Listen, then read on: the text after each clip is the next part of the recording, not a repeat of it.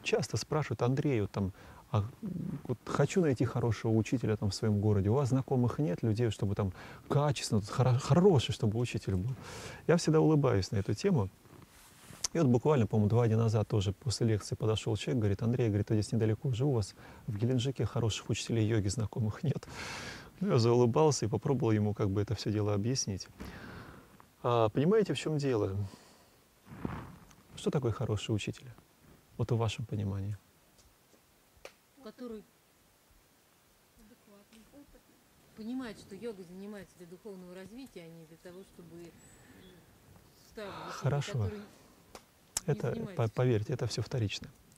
На самом деле лучший учитель это не тот, который имеет большой запас знаний, который вас будет там, учить чему-то суперважному. Самый лучший учитель это тот, вот никогда не догадаетесь.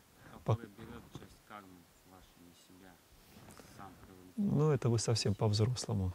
А если рассмотреть такой вариант более-менее мягкий, лучший учитель это тот, который будет на своем примере своих ошибок учить вас, как не нужно поступать.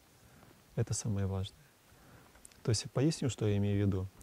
Когда перед вами какой-то человек делает какие-то вещи, которые вы считаете не самые правильные, и вы видите на его примере, что он делает не самые верные вещи, вот это и является вашим самым лучшим учителем. Учиться нужно не тому, что, чему вас учат, а что вы увидите за самим учением. Учителя нужно оценивать по тому, как он живет, а не по тому, что он говорит. Есть люди с великолепной памятью, которые прочитали большое количество книг и просто, знаете, а, как это, от зубов отлетает совершенно правильные, умные вещи. Но это совсем не значит, что это хороший учитель. Э, Хороший учитель, он будет э, как бы помогать вам решать ваши кармические проблемы. Это вот самая большая трудность. И мало кто из учителей за такое будет браться. Любой ученик для любого учителя, вы не поверите, это колоссальная проблема. Потому что на первом, на первом этапе любой ученик пушистый, беленький, чистенький и хорошенький. Только потому, что он живет в сознании. Если человек начинает пытаться идти внутрь себя, то будут выходить разные как бы, э, проблемы, о которых э, человек э, даже не задумывался, что в нем такое есть. На пути самосовершенствования из вашей личности будет выходить разное и всякое. Поверьте, у любого.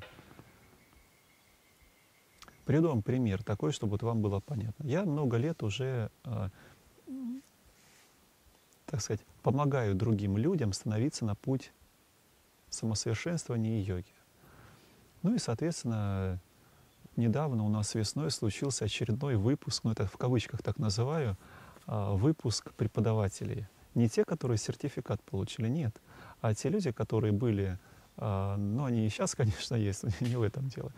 Просто появляются вокруг э, меня люди, которые там по каким-то причинам э, там йогой учатся у нас, там, ну, мы им чем-то помогаем, они чем-то помогают, становятся преподавателем, начинают потихонечку преподавать. И потом на определенном этапе обязательно у человека, у такого вот преподавателя начинаются проблемы. Проблемы со мной.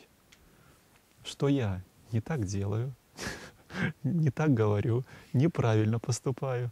И, соответственно, вот у нас э, это четвертый выпуск был, вот за 10 лет четвертый выпуск был у нас этой весной, когда там, ну, допустим, у нас а, ну, человек, наверное, 12 из тех преподавателей, которые у нас есть, я пригласил специально четырех, которые уже в кризисе конкретном. И вот с этими четырьмя человеками как бы был разговор. Я выслушивал их претензии в свой адрес, как бы, что, значит, а, одна сказала, что я же не помню, что она сказала, то- тоже меня в чем-то обвинила. Другой сказал, что я не помог им, понимаешь ли. Они хотели в каком-то городе провести какой-то, ну там какой-то флешмоб, ну короче, какой, как, какую-то фигню на самом деле. А я им сказал, что да вы, пожалуйста, на сайте делайте объявление и делайте. Просто я не буду вам помогать. Но меня в этом объявили, что им не помог. Вот они не смогли сделать, но это я не, не помог. Ну, короче, возникают во внутреннем мире определенные проблемы у человека, которые выливаются 100% на того, кто является причиной, которая не дает в их сознании им реализовать те страсти, которые у них сидят, понимаете? То есть проблема возникает внутреннего характера. И хороший учитель это совсем не то, что вы будете думать на первом этапе. А хороший учитель это тот, который будет, с одной стороны, стоять на страже ваших желаний в вашем внутреннем мире. Понятно объяснил? Нет или очень сложно? Потому что убивают вас те страсти, которые есть у вас. И хороший учитель должен найти методику, которая позволит вам контролировать ваши страсти. А на определенном этапе у вас во внутреннем мире накопится очень много вопросов к тому, кто как бы объяснить. Я не знаю, это очень, наверное, сложно объяснить, но вы, надеюсь, поняли, что я имел в виду. Почему, допустим, периодически у людей, которые становятся на путь самосовершенствования, возникают проблемы с тем, кто им помог встать на этот путь. Я смог объяснить, нет? Но еще раз объясню. Допустим, там 12 человек. Из 12 человек у четырех обязательно будут проблемы. Это нормально. Это нормальная статистика, потому что на этом пути очень сложно удержаться. Поэтому за последние 4 года, ой, 4 года, за последние там ну, больше 10 лет, наверное, с 99 -го года, это вот сейчас сколько получается, то есть первые ребята, которым мы начали помогать, встать на путь самореализации, как бы начали готовить преподавателей йоги, они, а, соответственно, где-то с 99 -го года были был первый выпуск, потом второй выпуск, потом третий. Вот этой весной частично был четвертый выпуск. Ну, это я для себя просто так называю. Я это просто для чего это вам все рассказал? Для того, чтобы объяснить. Поймите, пожалуйста, правильно.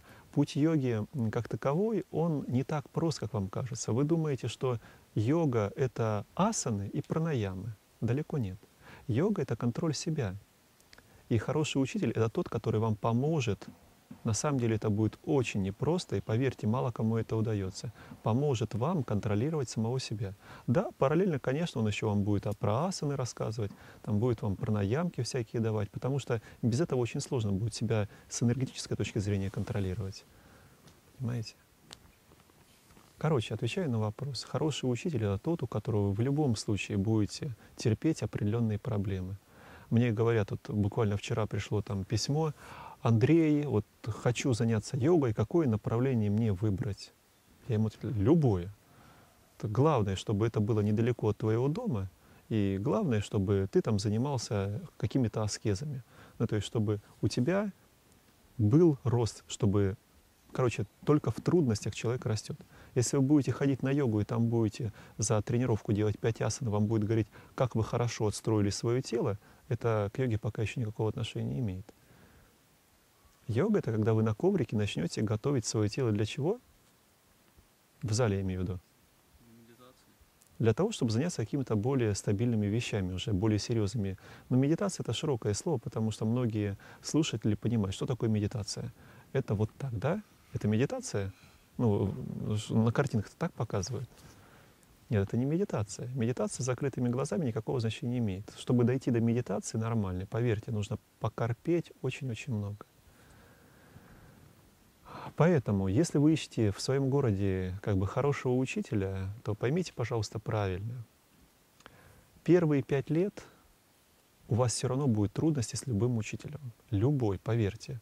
Вам по карме будет проявлять, а, сам того не желая, все ваши проблемы, которые у вас есть. Но вот вы думаете, он что, вас там что-то заставлять будет? Нет, вы просто на, будете ходить на тренировки, а вам будут говорить, вы просто асаны делаете но вы будете делать трудные асаны, вам будет неприятно, вы будете преодолевать себя. Это у всех такой путь, без этого невозможно. Это будет это очищение как бы вашего физического и энергетического тела. Только потом вполне возможно вы подойдете к тому, что в принципе все-таки нужно ум свой начать контролировать. И вот тогда начнется самое интересное. Тогда будет вылазить разное и всякое, и это будет влиять очень сильно на то, как вы будете жить. Все стили направления, которые существуют, они практически все об одном. Многие говорят, вот, я, я, а вдруг я в секту попаду в какую-нибудь? Друзья, поймите, пожалуйста, правильно, секта — это лучшая школа. Вот я, конечно, в кавычках говорю, но исходя из того, что на чужих ошибках вы можете накопить самый лучший опыт, то в какие-то секты очень даже полезно сходить и поучиться у них, как надо делать, понимаете? Более того, поймите, по своей карме вы не можете попасть в ситуацию хуже той, которая вам по вашей карме необходима. Понятно? То есть вы все равно в любой э, организации, в любом направлении, в любом течении йоги все равно столкнетесь ровно с тем, что вам нужно пережить. Ватой обложиться невозможно. Попытки а, найти самого лучшего правильного учителя — это попытка убрать за счет авторитета учителя или за счет энергии учителя те проблемы, которые к этому человеку могут прийти. Понятно? Поэтому этого не нужно бояться. Опять-таки, повторюсь, к моему большому сожалению, люди не до конца понимают, что вся их жизнь — это есть школа. Ваша социальная жизнь, ваши проблемы дома, в семье — это действительно ваша школа. Когда вы пытаетесь где помягче усесться и как повкуснее поесть, вы просто не до конца понимаете, что это, не, наверное, не самое лучшее, чем как бы стоило бы заниматься вообще. Но стандартно человек ищет, где теплее, правильно я понимаю? То есть где получше. Но это не имеет никакого отношения к йоге. Йога — это преодоление себя. Себя вы будете продлевать только в тех случаях, когда попадать будете в не самые простые ситуации. А эти непростые ситуации ваша жизнь вам и будет давать. Без этого невозможно. Вот по этому вопросу какие-то вопросы, комментарии. Кто со мной не согласен, что нужен правильный учитель с правильной, корректной отстройкой асан и так далее? Зачем он вообще нужен? Учитель. В первую очередь для эго, для вашего эго. Без учителя есть такое мнение, что только а, гениальные личности могут пробуждаться сами и без учителя развиваться. Это личности там, типа Будды Шакьямуни, Иисуса Христа, вот, которые развиваются. А так мой опыт показывает, что любой человек, он рано или поздно упадет в амбиции, впадет в амбиции, а, где гордыня будет ему рулить. Очень много гордых йогов, очень. Это вот самая страшная болезнь, когда человек а, развивается, развивается, и потом в эгоцентризм влетает. И крайне трудно туда потом человеку выйти.